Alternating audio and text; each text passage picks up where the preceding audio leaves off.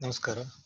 ನಾನು ನಿಮ್ಮ doctor Santosh C ಈ ದಿನ ಮಾರ್ಜಿನಲ್ ಕಾಸ್ಟಿಂಗ್ನ ಫಿಫ್ಟೀನ್ ಮಾರ್ಕ್ಸ್ ಪ್ರಾಬ್ಲಮ್ಸ್ನ ಯಾವ ರೀತಿ ಸಾಲ್ವ್ ಮಾಡಬೇಕು ಅಂತ ಹೇಳಿ ನಾನು ನಿಮ್ಗೆ ಹೇಳ್ತಾ ಇದ್ದೀನಿ. ಈ ಪ್ರೀವಿಯಸ್ ವಿಡಿಯೋಸ್ನಲ್ಲಿ ಈಗಾಗಲೇ ನಾನು ಫೈವ್ ಮಾರ್ಕ್ಸ್ ಪ್ರಾಬ್ಲಮ್ಸ್ನ ಸಾಲ್ವ್ ಮಾಡೋದು ಹಾಗೆ ಮಾರ್ಜಿನಲ್ ಕಾಸ್ಟಿಂಗ್ನ ಕೆಲವೊಂದು ಥಿಯರಿ ಪಾರ್ಟ್ಸ್ನ ಕೂಡ ಕವರ್ ಮಾಡಿದ್ದೆ. ವಿದ್ಯಾರ್ಥಿಗಳು ಇದಕ್ಕೆ ಚೆನ್ನಾಗಿ ಸ್ಪಂದಿಸಿದ್ದಾರೆ ಅನ್ನೋದು ನನ್ನ ಆಶಯ ಎರಡನೇದಾಗಿ ಈ ಒಂದು ಫಿಫ್ಟೀನ್ ಮಾರ್ಕ್ಸ್ ಕ್ವಶನ್ ಮಾರ್ಜಿನಲ್ ಕಾಸ್ಟಿಂಗ್ನಲ್ಲಿ ಹೆಚ್ಚಿಗೆ ಪ್ರೀವಿಯಸ್ ಇಯರ್ ಕ್ವಶನ್ ಪೇಪರ್ಸ್ನ ನೋಡೋದಾದ್ರೆ ಹೆಚ್ಚಿಗೆ ಕ್ವಶನ್ಸ್ನ ನಾವು ಈಗಾಗಲೇ ನೋಡಿದೀವಿ ಅದರಲ್ಲಿ ಕೆಲವೊಂದು ಕ್ವಶನ್ಸ್ನ ನಾನು ಪಿಕ್ ಮಾಡಿ ನಿಮ್ಮಿಂದ ಮುಂದೆ ಯಾವ ರೀತಿ ಫಿಫ್ಟೀನ್ ಮಾರ್ಕ್ಸ್ ಪ್ರಾಬ್ಲಮ್ನ ಸಾಲ್ವ್ ಮಾಡಬೇಕು ಅನ್ನೋದು ನಿಮ್ ಮುಂದೆ ವ್ಯಕ್ತಪಡಿಸ್ತಾ ಇದ್ದೀನಿ. ಮೊದಲನೇದಾಗಿ ಆ,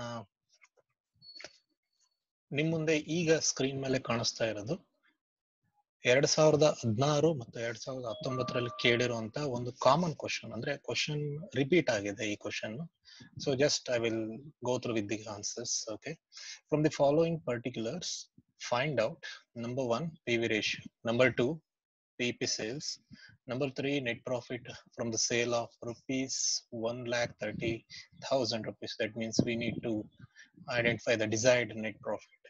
Third or fourth one is the sales to be effected to earn a net profit of rupees ten thousand ಹತ್ತು ಸಾವಿರ ರೂಪಾಯಿ ನೆಟ್ ಪ್ರಾಫಿಟ್ ಬರಬೇಕು ಅಂದ್ರೆ ನಾವು ಎಷ್ಟು ಸೇಲ್ ಮಾಡಬೇಕು ಅಂತ ಹೇಳಿ ನಾಲ್ಕು ಪಾಯಿಂಟ್ಸ್ನ ನಾವು ಫಿಫ್ಟೀನ್ ಮಾರ್ಕ್ಸ್ಗೆ ಕಂಡುಹಿಡಿಬೇಕಾಗುತ್ತೆ. ಈ ಮಾಹಿತಿನಲ್ಲಿ ನಮಗೆ ಕೊಟ್ಟಿರುವಂತ ಕೆಲವೊಂದು ಇನ್ಫಾರ್ಮೇಶನ್ ಏನಂದ್ರೆ the position of Varun company for the year two thousand fifteen is as follows first one is sales one lakh twenty thousand variable overhead 96000 gross profit 24000 fixed overhead 6000 and net profit is 8000 very simple 1 lakh 20000 minus 96000 the gross profit is 24000 we can simply call it as contribution ಇದನ್ನು ನಾನು contribution ಅಂತ ಹೇಳಿ ಕರಿಬಹುದು so second one cross contribution ಅಲ್ಲಿ ನಾನು fixed over ಹೆಡ್ನ minus ಮಾಡಿದ್ರೆ net profit ಸಿಗುತ್ತೆ. ಅದನ್ನ ನಾನು ಏಟ್ ತೌಸಂಡ್ ರುಪೀಸ್ ಅಂತ ಹೇಳಿದ್ರೆ ಈ ಇನ್ಫಾರ್ಮೇಶನ್ ಇಟ್ಕೊಂಡು ನಾವು ಈ ನಾಲ್ಕು ಪಾಯಿಂಟ್ಸ್ನ ಕಂಡುಹಿಡಿಬೇಕಾಗಿದೆ. Very simple question very easy formulas ಗೊತ್ತಿದ್ರೆ it's nothing it's very easy we you can solve this within ten minutes okay okay let's go to the answers how we should answer that one first one P V ratio PV ratio is equal to contribution divided by sales into 100. So as we know that contribution is 24,000, that is gross profit 24,000 and sales is 1 lakh 20,000 into 100. We got 20% as PV ratio, profit volume ratio as this one. Very simple, easy. Then second one, break even point sales particularly Break even point sales in order to identify this uh, we have a formula called fixed cost divided by PV ratio. PV ratio with that we already identified fixed cost they given in the problem it's problem ಅಲ್ಲಿ ಕೊಟ್ಟಿದ್ದಾರೆ ಏನು ಸಮಸ್ಯೆ ಇಲ್ಲ rupees sixteen thousand divided by twenty into hundred ನೀವು P V ರೇಷಿಯೋನ twenty percent ಅಂತ ತಗೊಂಡ್ರೆ into hundred ಅಂತ ಹಾಕ್ಬೇಕು. ಟ್ವೆಂಟಿ ಪರ್ಸೆಂಟ್ ಅಂತ ತಗೊಳಲ್ಲ ಅಂದ್ರೆ ಜೀರೋ ಪಾಯಿಂಟ್ ಟೂ ಜೀರೋ ಅಂತ ಹಾಕಿ ಹಂಡ್ರೆಡ್ ಹಾಕೋದು ಬೇಕಿಲ್ಲ. ಸೊ ಇಲ್ಲಿ ನಾನು ಟ್ವೆಂಟಿ ಅಂತ ತಗೊಂಡಿರೋದ್ರಿಂದ ಹಂಡ್ರೆಡ್ನ multiply ಮಾಡಲೇಬೇಕಾಗಿದೆ. So therefore break even sales comes to rupees eighty thousand sixteen thousand divided by twenty into hundred ಮಾಡಿದ್ರೆ ನಮಗೆ eighty thousand rupees break even sales ನಮಗೆ ಸಿಗುತ್ತೆ. ಸೊ ಇದು ಬ್ರೇಕ್ ಇವನ್ ಸೇಲ್ಸ್ ಅಂತ ಹೇಳಿದ್ರೆ ನಮ್ಮ ಟೋಟಲ್ ಸೇಲ್ಸ್ ಏನಿದೆಯಲ್ಲ, ಈ ಟೋಟಲ್ ಸೇಲ್ಸ್ನಲ್ಲಿ ಬ್ರೇಕ್ ಇವನ್ ಸೇಲ್ಸ್ನ ನಾವು ತೆಗೆದ್ರೆ ನಮಗೆ ಮಾರ್ಜಿನ್ ಆಫ್ ಸೇಫ್ಟಿ ಸಿಗುತ್ತೆ.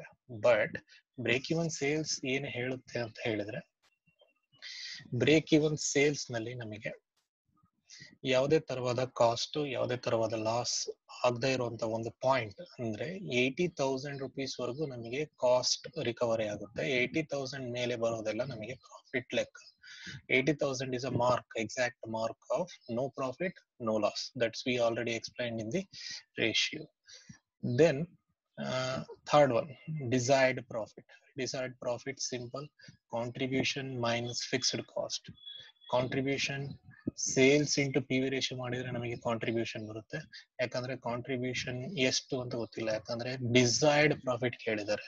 ಈ ಕಾಂಟ್ರಿಬ್ಯೂಷನ್ ಹೇಳ್ಬೋದು sir that is what twenty four thousand ತಗೋಬಹುದು ಇಲ್ಲ, ಆ ತರ ತಗೊಳಂಗಿಲ್ಲ ಯಾಕಂದ್ರೆ ಅವರು ಸೇಲ್ಸ್ನ ಕಡಿಮೆ ಮಾಡ್ಕೊಂತಾ ಇದಾರೆ. ಸೇಲ್ಸ್ನ ಕಡಿಮೆ ಮಾಡ್ಕೊಂಡು ಆಮೇಲೆ ಕಂಡಿಡಿ ಅದಕ್ಕೋಸ್ಕರ ನಾನು ಮೂರನೇ ಪಾಯಿಂಟ್ ನೆಕ್ಸ್ಟ್ ಮಾಡಿದೀನಿ ನಾಲ್ಕನೇ ಪಾಯಿಂಟ್ ಫಸ್ಟ್ ಮಾಡಿದೀನಿ ಏನು ನಾಲ್ಕನೇ ಪಾಯಿಂಟ್ ಹೇಳ್ತಾ ಇದೆ ಅಂದ್ರೆ ರಿಕ್ವೈರ್ಡ್ ಸೇಲ್ಸ್ ಕೇಳ್ತಾ ಇದೆ required sales is equal to fixed cost plus desired profit divided by P V ratio fixed cost ಹದಿನಾರು ಸಾವಿರ ಇದೆ. ಓಕೆ ಡಿಸೈರ್ಡ್ ಪ್ರಾಫಿಟ್ ಕ್ವಶನ್ ಅಲ್ಲಿ ಕೊಟ್ಟಿರೋ ರೀತಿ ಹತ್ತು ಸಾವಿರ ರೂಪಾಯಿ ಕೊಟ್ಟಿದ್ದಾರೆ. ಪಿ ವಿ ರೇಷಿಯೋ ನಾವು ಆಲ್ರೆಡಿ ಕಂಡು ಹಿಡಿದಿದ್ದೀವಿ twenty percent so sixteen thousand plus ten thousand twenty six thousand divided by zero point two zero the required sale is one lakh thirty thousand rupees ನೀವು ಹತ್ತು ಸಾವಿರ ರೂಪಾಯಿ ಪ್ರಾಫಿಟ್ನ ಅರ್ನ್ ಮಾಡಬೇಕು ಅಂದ್ರೆ, ಹತ್ತು ಸಾವಿರ ರೂಪಾಯಿ ಪ್ರಾಫಿಟ್ನ ಅರ್ನ್ ಮಾಡ್ಬೇಕಂದ್ರೆ, ನೀವು ಒಂದು ಲಕ್ಷದ ಮೂವತ್ತು ಸಾವಿರ ರೂಪಾಯಿ ಸೇಲ್ಸ್ನ ಮಾಡಿದ್ರೆ ಮಾತ್ರ ಸಾಧ್ಯ ಆಗುತ್ತೆ ಅನ್ನೋದು ಈ ಒಂದು ಕ್ವಶನ್ನ ಆನ್ಸರ್ ಇದೇ ರೀತಿ ಕ್ವಶನ್ ನಂಬರ್ ತ್ರೀ ಏನ್ ಹೇಳ್ತಾ ಇದಾರೆ ಅಂತ ಹೇಳಿದ್ರೆ, ಇಲ್ಲಿ ಸೇಲ್ಸ್ ಕಂಡುಹಿಡಿದಿದ್ದೀರಾ ಅದೇ ಪ್ರಾಫಿಟ್ನ ಕಂಡಿಡಬೇಕು ಏನ್ ಪ್ರಾಫಿಟ್ ಅಂತ ಹೇಳಿದ್ರೆ, ಒಂದು ಲಕ್ಷದ ಮೂವತ್ ಸಾವಿರ ರೂಪಾಯಿ ಸೇಲ್ಸ್ನ ಮಾಡಿದ್ರೆ ಪ್ರಾಫಿಟ್ ಎಷ್ಟಾಗುತ್ತೆ ಅನ್ನೋದು question so desired profit is equal to contribution minus fixed cost sales into P V ratio sales ನಾವು ಕಂಡುಹಿಡಿದ್ವಿ one lakh thirty thousand ಹಾಕೊಂಡ್ವಿ no problem P V ratio ಕಂಡುಹಿಡಿದ್ವಿ, ಅದನ್ನು ಕೂಡ ಹಾಕೊಂಡ್ವಿ. ಫಿಕ್ಸ್ಡ್ ಕಾಸ್ಟ್ ಕ್ವಶನ್ ಅಲ್ಲೇ ಕೊಟ್ಟಿದ್ದಾರೆ, ಅದನ್ನು ಹಾಕೊಂಡಿದೀವಿ Thirteen thousand one lakh thirty thousand into zero point two zero PV ratio minus sixteen thousand ಮಾಡಿದ್ರೆ we will get uh, rupees ten thousand as a desired profit. See ನೀವು ಒಂದು page answer ಇಷ್ಟೇ ನೀವು ಒಂದು page ಆನ್ಸರ್ನ ನೀವು just solve ಮಾಡಿದ್ರೆ ಇದು ಹತ್ತು ನಿಮಿಷ ಟೈಮ್ ತಗೊಳುತ್ತೆ ನಿಮಗೆ ಹದಿನೈದು ಮಾರ್ಕ್ಸ್ ಸಿಗುತ್ತೆ. ವೆರಿ ಈಸಿ ಕ್ವಶನ್ ಈ ಕ್ವಶನ್ ನಿಮ್ಗೆ ಎರಡ್ ಸಾವಿರದ ಹದಿನಾರರಲ್ಲೂ ಮತ್ತೆ ಹತ್ತೊಂಬತ್ತರಲ್ಲಿ ಎರಡು ವಾರ ಹೇಳಿದರೆ ಈ ಕ್ವಶನ್ನಲ್ಲಿ ನಿಮ್ಗೆ ಏನೇ ಡೌಟ್ ಇದ್ರು ಕೂಡ ನೀವು ನಮಗೆ ಪರ್ಸನಲ್ ಆಗಿ ಪಿಂಗ್ ಮಾಡಿ ಅಂತ ಹೇಳ್ತೀನಿ. ಸೊ ಇದಲ್ದೆ ಇನ್ನೊಂದು ಕ್ವಶನ್ ಸಾಲ್ವ್ ಮಾಡ್ಬೇಕಂತ ಅಂದ್ಕೊಂಡಿದ್ದೆ. ಇದು ಕೂಡ ಮಾಡಿದ್ದೀನಿ. ಸ್ವಲ್ಪ ದೊಡ್ಡ ಪ್ರಾಬ್ಲಮ್ ನೋ ಈ ಕ್ವಶನ್ ಎರಡ್ ಸಾವಿರದ ಹದಿನೈದರಲ್ಲಿ ಕೇಳಿದ್ದಾರೆ ಟೂ ತೌಸಂಡ್ ಫಿಫ್ಟೀನ್ ಅಲ್ಲಿ ಈ ಕ್ವಶನ್ ಕೂಡ ಟೂ ತೌಸಂಡ್ ಫಿಫ್ಟೀನ್ನಲ್ಲಿ ರಿಪೀಟ್ ಆಗಿರೋ ಕ್ವಶನ್ಸ್ ಅಂದ್ರೆ ಪ್ರೀವಿಯಸ್ ಇಯರ್ಸ್ ಓಲ್ಡ್ ಇಯರ್ಸ್ನಲ್ಲಿ ಕೂಡ ರಿಪೀಟ್ ಆಗಿದೆ. ಅದರಲ್ಲಿ ನಾನು ತಗೊಂಡಿದ್ದೇನೆ okay okay fifteen marks question calculate number one P V ratio number two break even point ನೀವು ಕ್ವಶನ್ ಕೇಳ್ಬೋದು ಸರ್ ಬ್ರೇಕ್ ಇವನ್ ಪಾಯಿಂಟ್ ಅಷ್ಟೇ ಕೊಟ್ಟಿದ್ದಾರೆ. ಬ್ರೇಕ್ ಇವನ್ ಪಾಯಿಂಟ್ನಲ್ಲಿ ಸೇಲ್ಸ್ ಕೊಟ್ಟಿದಾರಾ ಅಥವಾ ಯೂನಿಟ್ಸ್ ಕೊಟ್ಟಿದಾರ ಏನ್ ಕಂಡಿಡಬೇಕು ನಮಗೆ ಅನ್ನೋದು ನಿಮಗೆ ಒಂದು ಡೌಟ್ ಆಗಿರುತ್ತೆ. ಆದ್ರೆ ಬ್ರೇಕ್ ಇವನ್ ಪಾಯಿಂಟ್ ಅಂತ ಕೇಳಿದ್ರೆ you better calculate sales sales ಅಂತ ಹೇಳಿದ್ರೆ ಬ್ರೇಕ್ ಇವನ್ ಪಾಯಿಂಟ್ ಬ್ರಾಕೆಟ್ನಲ್ಲಿ sales hockey is equal to fixed cost divided by P V ratio simple ಇಲ್ಲ ಸರ್ ಬ್ರೇಕ್ ಇವನ್ ಯೂನಿಟ್ಸ್ ಕೇಳಿದ್ದಾರೆ ಅಂತ ಹೇಳಿದ್ರೆ fixed cost divided by unit contribution simple so ಇಲ್ಲಿ break even point ಅಷ್ಟೇ ಕೇಳಿದ್ರೆ ಅಂದ್ರೆ you better calculate sales only that is fixed cost divided by P V ratio so P V ratio ಕಂಡುಹಿಡಿತೀವಿ fixed cost question ಅಲ್ಲಿ ಕೊಟ್ಟಿರ್ತಾರೆ, ಇಲ್ಲ ನಾವು ಕಂಡುಹಿಡಿಬೇಕು. Simple so number one V ratio number two break even point number three margin of safety number four sales required required sales to earn a profit of rupees 2 lakh 40,000. Fifth one is profit when sales are rupees 30 lakh from the following information. So ಒಟ್ಟಿಗೆ ಐದು point ಕೇಳಿದ್ದಾರೆ. ಎಲ್ಲಪ್ಪ question ಏನ್ ಕಂಡುಹಿಡಿಬೇಕು ಅಂತ ಏನಾದ್ರು confuse ಆದ್ರೆ confuse ಆಗಬೇಡಿ ನನಗೆ ಐದು ಪಾಯಿಂಟ್ ಕೇಳಿದ್ದಾರೆ. ನೀವು ಕಂಡುಹಿಡಿಬೇಕಾಗಿರೋದು ಐದು ಕ್ಯಾಲ್ಕುಲೇಷನ್ ಮಾಡಿ ಐದಕ್ಕೂ ಬಾಕ್ಸ್ನಲ್ಲಿ ತೋರಿಸ್ಬೇಕಾಗುತ್ತೆ. ಎಷ್ಟು ಬಂದಿದೆ ಅಂತ ಹೇಳಿ. ಓಕೆ ಹ್ಮ್, ಮಾಹಿತಿ ಕೊಟ್ಟಿದ್ದಾರೆ ನಮಗೆ. ಡೈರೆಕ್ಟ್ ಮೆಟೀರಿಯಲ್ ಕೊಟ್ಟಿದ್ದಾರೆ ಪರ್ ಯೂನಿಟ್ ಡೈರೆಕ್ಟ್ ಲೇಬರ್ ಕೊಟ್ಟಿದ್ದಾರೆ per unit variable over rate ಕೊಟ್ಟಿದ್ದಾರೆ ಪರ್ ಯೂನಿಟ್ ಸೊ ಈ ಮೂರು ಪಾಯಿಂಟ್ ಏನ್ ಕೊಟ್ಟಿದಾರಲ್ಲ ಈ ಮೂರು ಪಾಯಿಂಟ್ನ ನಾನು ವೇರಿಯಬಲ್ ಕಾಸ್ಟ್ ಅಂತ ಹೇಳಿ ಕರಿತೀನಿ. ಬಟ್ ಇವ್ರು ಕೊಟ್ಟಿರೋದು ಯೂನಿಟ್ ಲೆಕ್ಕ, ಒಂದು ಯೂನಿಟ್ ಎಷ್ಟಾಗುತ್ತೆ ಅಂತ ಹೇಳಿ ಈ ಮೂರನ್ನು ಆಡ್ ಮಾಡಿದ್ರೆ ನಮಗೆ ವೇರಿಯಬಲ್ ಕಾಸ್ಟ್ ಬರುತ್ತೆ. ಓಕೆ ಹೇಳ್ತೀನಿ ಯಾವ ರೀತಿ ಮಾಡ್ಬೇಕು ಅಂತ.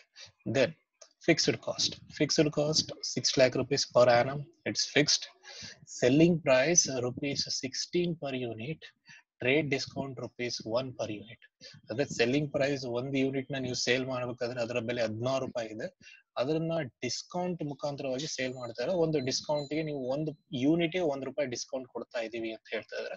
ಸೊ ಅಲ್ಲಿಗೆ ನಮಗೆ ಸೆಲ್ಲಿಂಗ್ ಪ್ರೈಸ್ ಬಂದ್ಬಿಟ್ಟು ಹದಿನಾರು ಮೈನಸ್ ಒಂದು ಅಂದ್ರೆ ಹದಿನೈದು ರೂಪಾಯಿ ಬರುತ್ತೆ. ಫಿಫ್ಟೀನ್ ರುಪೀಸ್ ಒಂದು ಯೂನಿಟ್ಗೆ ಬರುತ್ತೆ. ಸೊ ಟೋಟಲ್ ಎಷ್ಟು ಯೂನಿಟ್ ಸೇಲ್ ಮಾಡ್ತಾ ಇದೀವಿ ನಾವು? One lakh forty thousand rupees sale ಮಾಡ್ತಾ ಇದೀವಿ. ಸೊ ಇಷ್ಟು ಮಾಹಿತಿ. ಇದು ವೇರಿಯಬಲ್ ಕಾಸ್ಟ್ ಇದು ಫಿಕ್ಸ್ಡ್ ಕಾಸ್ಟ್ ಇದು selling price and this is unit sold ಬಂದಿರೋ ಯೂನಿಟ್ಸ್ಗೆ ಇದನ್ನ ಮಲ್ಟಿಪ್ಲೈ ಮಾಡಬೇಕು ಐ ಮೀನ್ ಪರ್ ಯೂನಿಟ್ನ ಕಂಡುಹಿಡಿಯೋ ಟೋಟಲ್ ಕಾಸ್ಟ್ನ ಕಂಡುಹಿಡಿಬೇಕಾದ್ರೆ okay come to the solution solution ಮಾಡೋದಕ್ಕಿಂತ ಮುಂಚೆ ನೀವು ಒಂದು ಸ್ಟೇಟ್ಮೆಂಟ್ನ ಮಾಡ್ಕೊಳೋದು ಬಹಳ ಒಳ್ಳೇದು. ಪ್ರೀವಿಯಸ್ ಪ್ರಾಬ್ಲಮ್ ಅಲ್ಲಿ ಅವರೇ ಸ್ಟೇಟ್ಮೆಂಟ್ ಕೊಟ್ಟಿದ್ರು ಸೊ ನಮಗೆ ಸಮಸ್ಯೆ ಇರಲಿಲ್ಲ. ಬಟ್ ಈ ಪ್ರಾಬ್ಲಮ್ ಅಲ್ಲಿ ನಾವೇ ಸ್ಟೇಟ್ಮೆಂಟ್ ಮಾಡ್ಕೋಬೇಕು. ಪ್ರತಿ ಪ್ರಾಬ್ಲಮ್ ಅಲ್ಲೂ ಸ್ಟೇಟ್ಮೆಂಟ್ ಮಾಡ್ಕೋಬೇಕು, ಮಾಡದೇ ಇರಬೇಕು ಅನ್ನೋದೇನು ಕಂಪಲ್ಸರಿ ಇಲ್ಲ. ಸ್ಟೇಟ್ಮೆಂಟ್ ಆಫ್ ಕಾಸ್ಟ್ ಅಂಡ್ ಪ್ರಾಫಿಟ್ನ ಮಾಡ್ಕೊಳೋದ್ರಿಂದ ನಿಮಗೆ ಸೊಲ್ಯೂಷನ್ ಮಾಡೋದಕ್ಕೆ ಈಸಿ ಆಗುತ್ತೆ.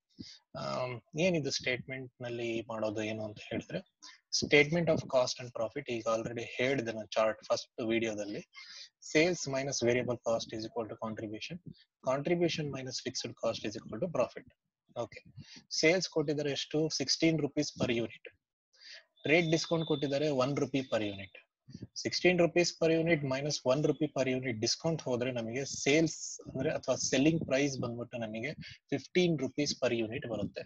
ಎಷ್ಟು ಯೂನಿಟ್ ಸೇಲ್ ಮಾಡ್ತಾ ಇದೀವಿ? One lakh forty units forty thousand ಯೂನಿಟ್ಸ್ನ ನಾವು ಸೇಲ್ ಮಾಡ್ತಾ ಇದೀವಿ.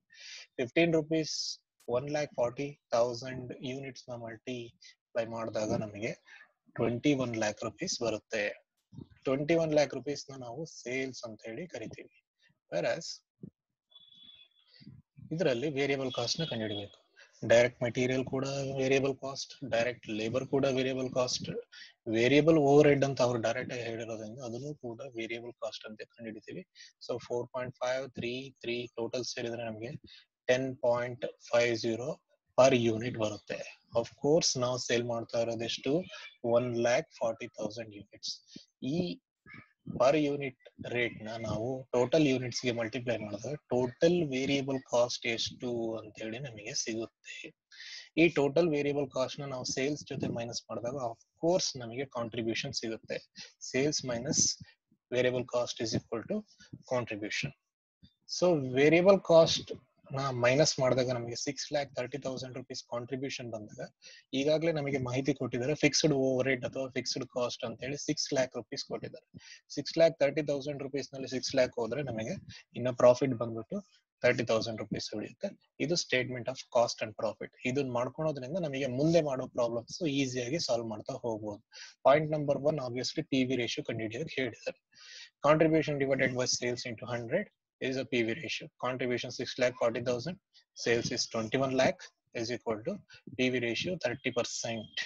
The next break even point. Break ಪಾಯಿಂಟ್ನಲ್ಲಿ ನಾನು ಬ್ರೇಕ್ ಇವನ್ ಸೇಲ್ಸ್ ಮಾತ್ರ ಮಾಡ್ತಾ ಇದ್ದೀನಿ. ಬ್ರೇಕ್ ಇವನ್ ಯೂನಿಟ್ಸ್ ಮಾಡ್ತಾ ಇಲ್ಲ. ಬ್ರೇಕ್ ಇವನ್ ಪಾಯಿಂಟ್ನ ಸೇಲ್ಸ್ ಫಾರ್ಮುಲಾ ಆಲ್ರೆಡಿ ಹೇಳಿದೆ. Fixed cost divided by P V ratio fixed cost six lakh rupees P V ratio ಈಗ ಕಂಡುಹಿಡಿದಿದ್ದೀವಿ ನಾವು ಅದನ್ನು zero point three zero so BEP sales ಬಂದ್ಬಿಟ್ಟು ನಮಗೆ ಟ್ವೆಂಟಿ ಲ್ಯಾಕ್ ರುಪೀಸ್ ಬರುತ್ತೆ twenty lakh rupees is the BEP point that is a break even point ಅಂತ ಹೇಳಿ ಹೇಳ್ತೀವಿ this is sales amount break even point sales amount actual sales margin of safety it's very simple break even point ಕಂಡಿಡಿದ ಮೇಲೆ margin of safety ಕಂಡುಹಿಡಿಯೋದು easy margin of safety ಕಂಡುಹಿಡಿಯೋದಕ್ಕೆ ಕೆಲವೊಂದು formula ಇದಾವೆ ಎರಡು formula ಇದೆ. ಒಂದು actual sales minus BEP sales ನಮ್ಮ ಹತ್ರ ಇದ್ರೆ ನಾವು ಈ ಫಾರ್ಮುಲಾ ಅಪ್ಲೈ ಮಾಡಬಹುದು ನಮ್ಮ ಹತ್ರ ಇಲ್ಲ ಅಂತ ಹೇಳಿದ್ರೆ ನಾವು ಇನ್ನೊಂದು ಫಾರ್ಮುಲಾ ಇದೆ profit divided by P V ratio ಅಂತ ಹೇಳಿ ಮಾಡ್ಕೋಬಹುದು ಇಲ್ಲ, ನಮಗೆ ಇದು ಇದೆ ಅಂತ ಹೇಳೋದ್ರಿಂದ ನಾವು actual sales twenty one lakh question ಅಲ್ಲಿ ಕೊಟ್ಟಿರೋದು, ನಾವು ಕಂಡುಹಿಡಿದಿರೋದು. ಬ್ರೇಕ್ ಇವನ್ ಸೇಲ್ಸ್ ಈಗ ಕಂಡಿಡ್ದಿರೋದು twenty lakh one lakh rupees is margin of safety ಇದನ್ನ ಇನ್ನೊಂದು ರೀತಿ ಮಾಡೋದಾದ್ರೆ ಮಾರ್ಜಿನ್ ಆಫ್ ಸೇಫ್ಟಿ ಎಷ್ಟಿದೆ? ತರ್ಟಿ ತೌಸಂಡ್ ರುಪೀಸ್ ಪ್ರಾಫಿಟ್ ಇದೆ. ಪಿ ವಿ ರೇಷಿಯೋ ಕಂಡುಹಿಡಿದಿದ್ವಿ ತರ್ಟಿ ಪರ್ಸೆಂಟ್ ಆಗ ಮಾಡಿದಾಗ ನಮಗೆ one lakh rupees see. The answers remain same the formula is different formula ಬೇರೆ ಇದೆ ಆನ್ಸರ್ ಒಂದೇ ಇದೆ. ನಿಮಗೆ ಯಾವ ಇನ್ಫಾರ್ಮೇಶನ್ ಇದೆಯೋ ಆ ಇನ್ಫಾರ್ಮೇಶನ್ ಪ್ರಕಾರ ಫಾರ್ಮುಲಾಸ್ ಅಪ್ಲೈ ಮಾಡಬೇಕಾಗುತ್ತೆ. ಬ್ರೇಕ್ ಇವನ್ ಪಾಯಿಂಟ್ಗೂ ನಿಮಗೆ ಎರಡು, ಮೂರು ಫಾರ್ಮುಲಾಸ್ ಇರುತ್ತೆ. ಮಾರ್ಜಿನ್ ಆಫ್ ಸೇಫ್ಟಿಗೂ ಎರಡು ಫಾರ್ಮುಲಾ ಇದೆ. ಪಿ ವಿ ರೇಷಿಯೋಗೂ ಮೂರ್ನಾಲ್ಕು ಫಾರ್ಮುಲಾ ಸಿಗುತ್ತೆ.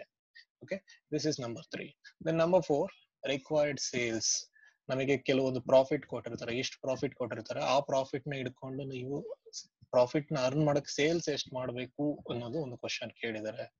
ಸೊ ಅದಕ್ಕೆ ರಿಕ್ವೈರ್ಡ್ ಸೇಲ್ಸ್ ಅಂತ ಕರಿತೀವಿ. Fixed cost plus desired profit question ಅಲ್ಲಿ ಕೊಟ್ಟಿರ್ತಾರೆ. Divided by P V ratio fixed cost six lakh rupees it is constant plus two lakh forty thousand rupees divided by zero point three zero P V ratio so ಇದನ್ನ ಮಾಡಿದಾಗ ನಮಗೆ eight lakh forty thousand divided by zero point three zero or thirty percent is equal to required sales 28 lakh rupees. ಈ 28 lakh rupees sales ಮಾಡಿದ್ರೆ ಮಾತ್ರ ನಾವು two lakh forty thousand rupees ಪ್ರಾಫಿಟ್ನ earn ಮಾಡೋದಕ್ಕೆ ಸಾಧ್ಯ ಆಗುತ್ತೆ.